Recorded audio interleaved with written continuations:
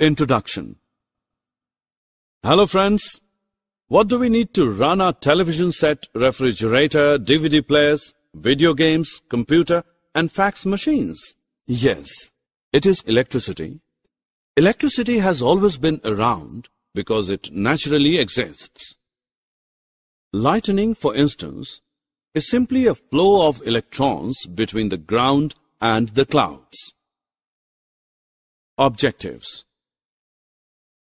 At the end of this lesson, you will be able to define electricity, establish the relation between electric current and charges, identify the two types of electricity, define conductors and insulators. How do you study in the late evening? Of course, you light up your room using an electric bulb.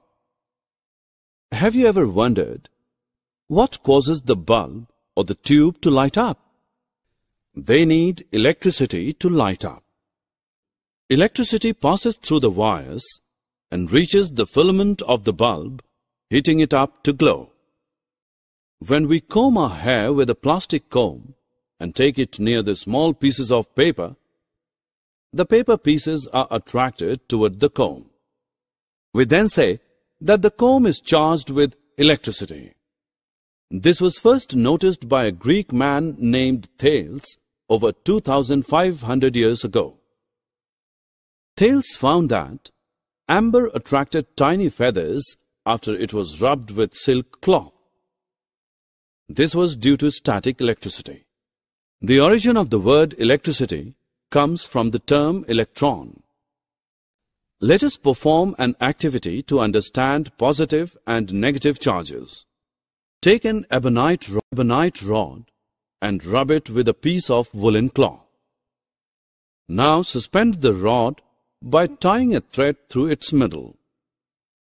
Now charge another ebonite rod in the same way and bring it close to the suspended rod. What do you notice?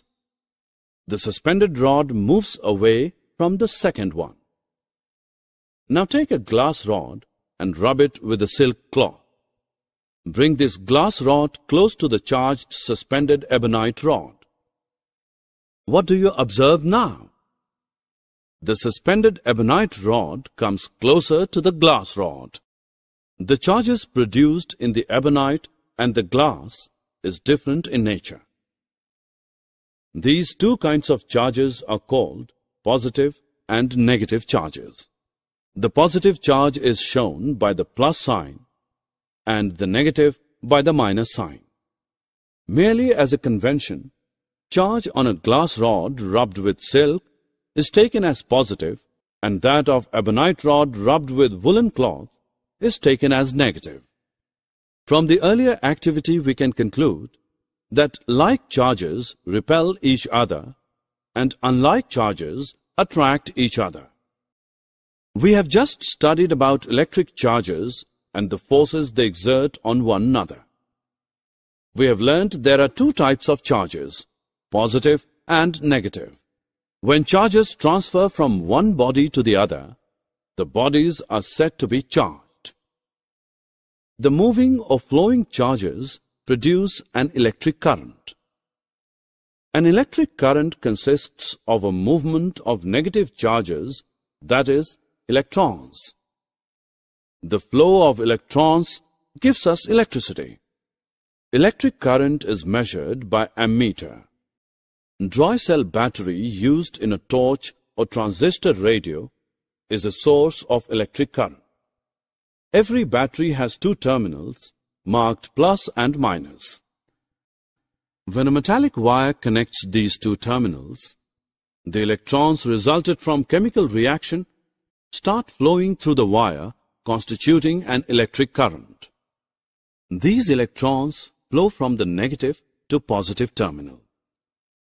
Thus, a cell is a simple device in which chemical energy is changed into electric energy.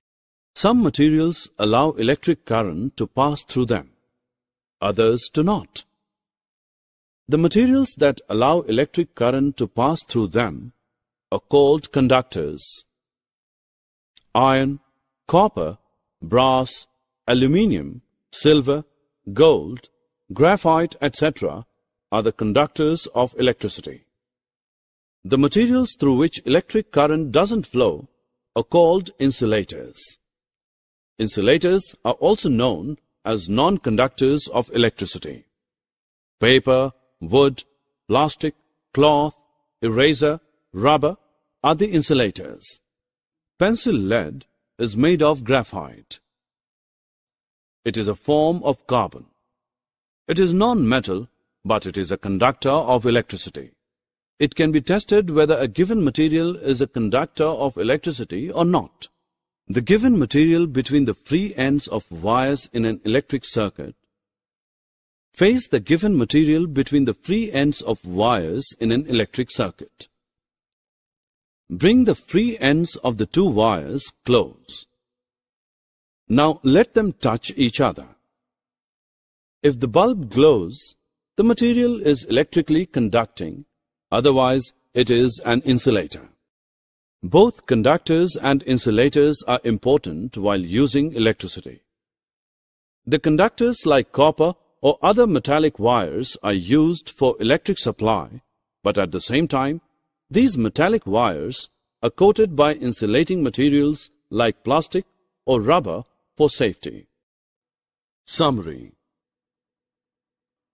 Let us summarize what we have learned. Electricity is a form of energy. Charges always occur together.